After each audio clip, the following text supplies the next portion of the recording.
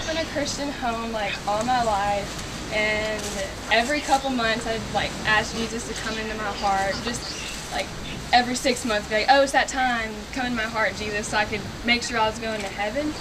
And no big deal. I was really, really disrespectful. Didn't really like authority. I didn't really like to obey. Like no big deal. And then I went to D now in sixth grade, and the preacher was talking one night, and I just kind of like zoned him out and started talking to God one on one, and just I realized that all those years I was just saying, Jesus, come in my heart, I want to go to heaven, and no big deal. I really realized I wasn't like living the way of a Christian. It wasn't for real, so I just asked him to come into my heart and forgive me for all I had done. And after that, a lot had changed. I wasn't, I mean, I felt a lot of guilt when I would sin. It was a big deal to me. And I want to get baptized to obey what Jesus wants and to show everyone how to understand. That's awesome. Thank you, Merrell. Taylor? There you are. Hey, yeah, let her This is Taylor Townsend, and she's also going to share her testimony with you. When you were little, you probably thought that you had the perfect family, that you had the best dad in the world, or the mom that could do anything. And your parents brag on how you're such a great kid and how you make perfect grades. If you're the ages of either four or five, not involved in the church, you don't really realize how simple you really are. You think everything is about you when it really isn't. Around my fifth birthday, I started to realize how imperfect my family was. Seeing how my dad was acting different go away.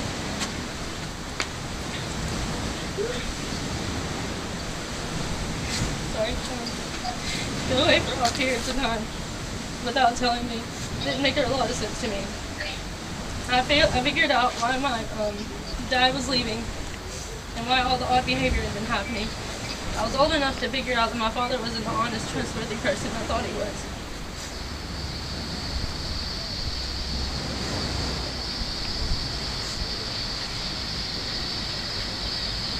I knew my dad was doing bad things during my family, and my family just didn't realize I knew about it. I was still too young to know why he was doing this, but I decided to shake it off and just let everything settle down. A few years passed since the last time I saw my dad, and my mom finally told me that he had moved to Georgia, and they had gotten a divorce. Um, my dad was a drug addict, and um, he stole from my family.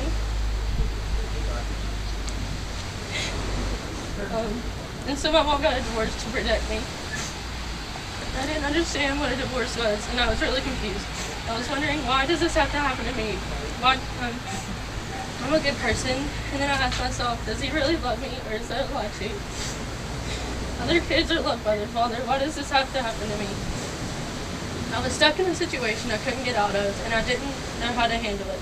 My mom and I were living in my grandparents' house in a one-bedroom apartment off and on for about three years.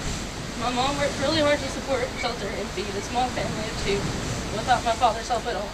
And it made what we made what little we had work. Two years later, I was eight years old, and my Aunt Bridget was surprising my mom by introducing me to a man named Lawson Craig. And now they're married. Lawson introduced me to this thing called church, and he said I had to go there every Sunday. I thought it was weird at first, but I got used to it. When my mom was baptized at Wesleyan Memorial Church, I didn't understand uh, why she was doing this. I saw that the preacher asked her questions, and she would say yes a few times, and then boom, she was baptized.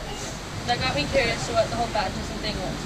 The next three or four years of my life were really hard with the divorce issues. Um, but these times were the times that I grew closer to God. I moved to Nashville after my mom and Lawson got married, and we continued to go to church. In the meantime, my mom had my little brother Lawson, and decided to make decided to move back to Decatur, where our family lived. My moving back to Decatur and going to Decatur Heritage was the best thing that's ever happened to me. DHCA really explained everything about my Christian walk and how to live a life that is pleasing to God. My family got involved in First Bible Church and we started attending every Sunday.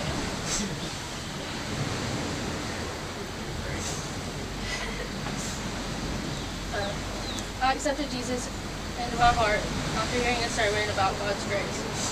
I learned that first I learned from First Bible that in God's eyes sin is sin, and it doesn't matter what kind of person you are, good or bad, we're all sinners, and all sin is displeasing to Him. I know God, and I know He sent His Son to, to die for us, so He would live, so He wouldn't live eternally in hell. He sent His Son for everybody's sin, even my dad. I also learned that God always will be, God will always be there for you when other people aren't. Through the good and the bad and the ugly, He will still be our Heavenly Father. He motivates me to be a better daughter for Him. And that's why I'm being baptized out of obedience to Him. Because He deserves it. My story shows that nothing about human nature is perfect except perfect except for Jesus. And even if we try our hardest, we'll never live up to how perfect Jesus was. But, but God loves us anyways and always will.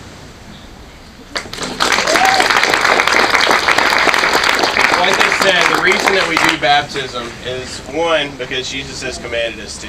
And when you're a follower of Christ and you realize what He's done for you in your life, it's the natural response to do what He's asked of you. And two, it's a representation. It, it shows what is going on on the inside, on the outside for everyone else to see. So you're, you're going to get to be witnesses of the external representation of, of these girls and their sins that have been washed away. Merrell Bowman, on your profession of faith, I baptize you in the name of the Father, the Son, and the Holy Spirit. Buried with Christ in baptism, raised to walk in newness of life.